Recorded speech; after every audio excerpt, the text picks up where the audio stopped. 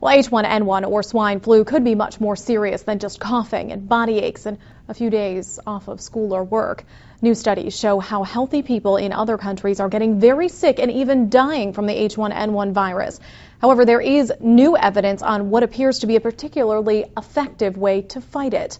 Tracy Potts has more on that tilt your head just a little bit and not blow out. Nurses at Children's Hospital in Denver get the swine flu vaccine. We are starting with our staff in the emergency room and our staff in the intensive care units and up on the floors where our patients are actually housed with H1N1. Government health officials are pushing the vaccine for healthcare workers and other vulnerable groups as new studies show just how dangerous swine flu can be, especially in children. The Journal of the American Medical Association reports in Canada, young adults became critically ill very quickly. Multiple organs failed and patients needed prolonged ventilation.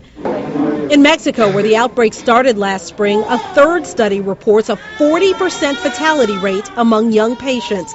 That's why the U.S. is pushing this new vaccine. We know that this vaccine works. We know its safety profile. But experts say no one, not even healthcare workers, should be forced to take it. Some doctors remain skeptical. You can't uh, uh, persuade physicians to get this vaccine voluntarily. What kind of message does that send to the public? A public now in the middle of what's already an unusually active flu season. That was Tracy Potts reporting.